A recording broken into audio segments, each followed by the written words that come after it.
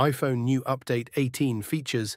Hey everyone, it's mid-2024, and that means iOS 18 is right around the corner. I've been testing the beta, and here's a quick rundown of the top 5 features you need to know about. Let's jump right in. First up, we're leaving out Apple Intelligence for now. I'll cover that in a separate video once it's fully available. Make sure to subscribe so you don't miss it. Alright, number 5, the revamped Control Center. The new Control Center is more colorful and now has three pages. The first page remains your main hub, while the additional pages feature a full-page media visualizer and quick toggles. You can also customize the layout by resizing and rearranging controls. New features include a flashlight control that adjusts both intensity and beam width, a button to turn off your phone, and customizable controls on your lock screen.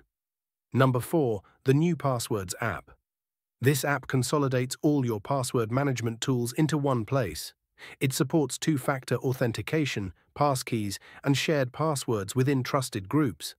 However, there's no Android version, so I'll stick with my current password manager.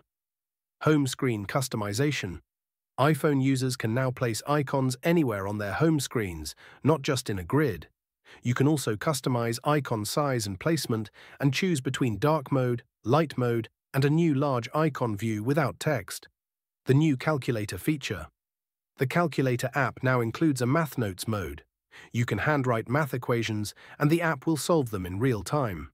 It syncs across devices and supports variables, graphs, and more. So that's a quick look at the top 5 features in iOS 18.